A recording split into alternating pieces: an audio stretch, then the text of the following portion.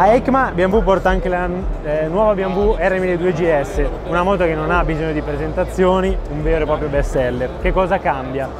Allora, eh, se il motore rimane sempre lo stesso, aggiornato Euro 4 ma sempre eh, 125 cavalli, a cambiare prima di tutto l'aspetto estetico. Come vedete è un po' più cicciotta e muscolosa qui in questa zona e c'è anche questa eh, altra para, eh, paratia, questo fianchetto eh, in contrasto con quest'altro nero che da muove un po' l'insieme, un becco un po' rivisto, anche il fanale, ma eh, vera, le vere novità sono un po' più nell'elettronica, perché?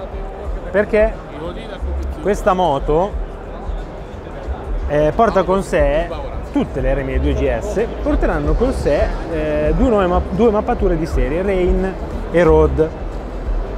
A scelta c'è ovviamente anche il pacchetto eh, Pro diciamo per avere eh, quattro mappature quindi Dynamic, Dynamic Pro, Enduro ed Enduro Pro. Ma essendoci anche la piattaforma inerziale c'è anche l'ABS Pro e le nuove generazioni di sospensioni Dynamic ESA adesso sono in grado di dialogare con la piattaforma inerziale. Quindi sanno sempre si tarano sempre eh, sapendo se la moto è inclinata, sta frenando, state accelerando, insomma, li tengono ben sotto controllo. La modalità di guida Pro comprende anche l'assistente alle partenze in salita e ovviamente c'è anche l'ABS Pro, è in grado di frenare, eh, fa frenare la moto inclinata senza problemi. Ma un'altra bella novità, venite qui, della nuova R1200GS è la versione Rally che è quella che vedete lì.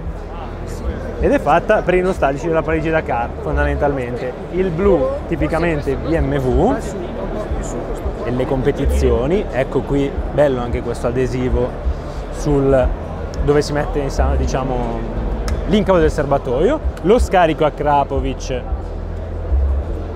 che promette un sound davvero niente male ma c'è anche una sella che è piatta, adesso qui non la vedete perché c'è seduto un signore che non scomodiamo, ma rispetto all'altro modello è molto più piatta per permettersi di, di, di muoversi con più facilità nella guida off-road, perché chiaramente cerchi a raggi, pneumatici artigliati, anche qui Dynamic ESA, un parabrezza più, più basso e più sportivo che proteggerà meno dall'aria ovviamente rispetto a quello delle sorelle più votate ai viaggi ma qui non ci interessa, come così non ci interessa avere delle pedane particolarmente confortevoli, che infatti qui si può addirittura togliere il gommino ed avere come col pedale del freno più presa con gli stivali quando il gioco si fa duro, insomma col fango.